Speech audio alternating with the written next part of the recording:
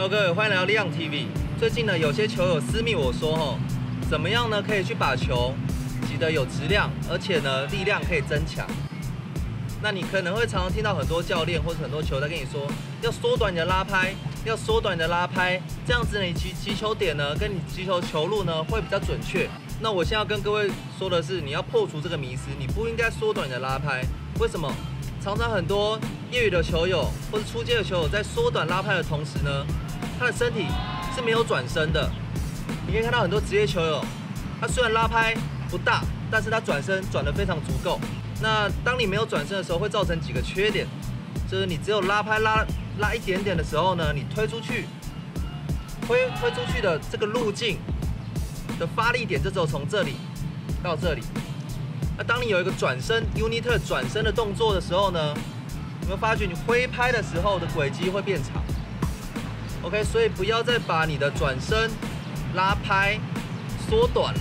你可以看到很多职业 Pro 的选手，例如 JOKovic，。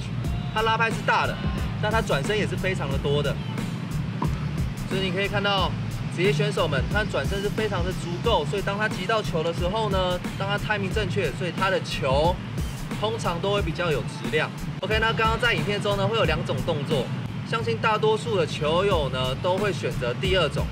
为什么选择第二种？因为看起来比较自然，而且呢球的力量以及身体用的惯性。会比较足够，那这样球自然击出来就会强。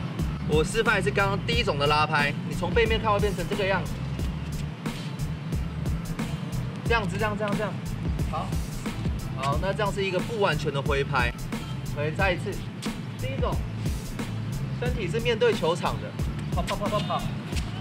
好，随便挥一个动作，这样子，那这样你球就比较不会有质量。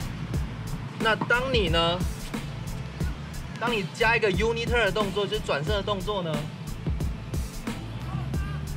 当你把肩膀转过来，哎，有没有感觉我的身？有没有感觉我的身体呢？往后还有球拍感觉拉的会比较大一点。从侧边看呢，会变成这个样子。第一种，身体面对球场，好，这样挥拍。那第二种，虽然第一个一开始的步骤一样，但加上一个转身的动作，哎，感觉。就比较不一样。那你等一下呢？我会教你两个步骤来练习。第一个呢，你可以自己抛球，先踩开放式，先把你的左手往后推，拉拍的时候固定住，在你身体的正后方有没有看到？在你身体的正后方，有些会拉太大，这样太大你出来会不好控球。OK。转到这边来，好，球往前摆，下去的时候用脚去出力，脚出力去顶完一个挥拍，好，做一个转身拉拍，你会感觉到左边会有点紧紧的，侧身面对着球场，OK 哦，球摆着，出去，我来转身拉拍，左手扶出来，脚在前面。这个呢，就是有一个 Uniter 的拉拍，当然踩 close 也是一样，转过去，脚踩稳，出去。好，那当你呢固定好你的动作之后呢，固定好你的转身拉拍之后呢，你可以加速，你可以一颗球开放式，一颗球封闭式，确保你的转身转好，然后左手放球开放式，挥完回来。左脚踩好，过去，所以你可以这样子很快的练习。一，过去踩，回来预备，然后抛球，然后预备。你在练习的时候，尽量不要像这个样子，快速的抛了就这样乱打，不行。你一定要确保你的拉拍是拉的好的，有没有转身这个动作，有没有侧身这个动作？好，确保之后再抛球。确保之后再抛球，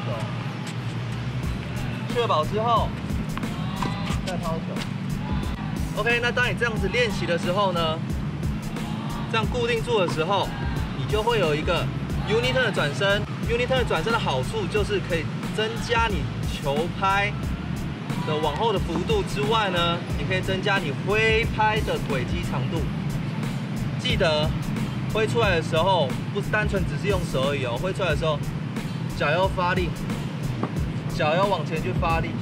好，所以你不要再把你的挥拍缩小了，反之，你一定要把你的转身做出来，这样子你击球的时候呢，会更加的自然，并且呢，更能够用身体的力量去击球。OK，那今天影片就到这边，如果有任何问题，欢迎私讯我的粉丝专业，把你的问题打上来，我可能都会在我的影片中回复你们。那我们今天影片就到这里喽，下次见，See you.。